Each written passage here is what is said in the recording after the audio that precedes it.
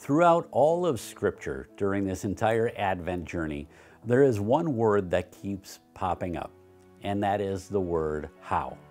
Whether it's a woman who is barren that eventually gets pregnant to give birth to a child, or it is a virgin who becomes the mother of God, to Zechariah, a prophet who hears a very distinct message from the same angel saying that his son would lead the way for the Lord. None of them ask why or when, but they simply say how.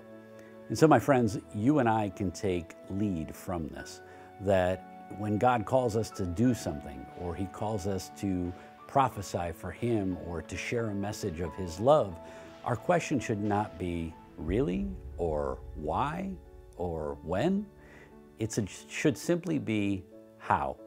And if we begin to look at things that way with the Lord, we will know that He always gives us what we need in order to do what He's asking us to do, in order to lead others to Him.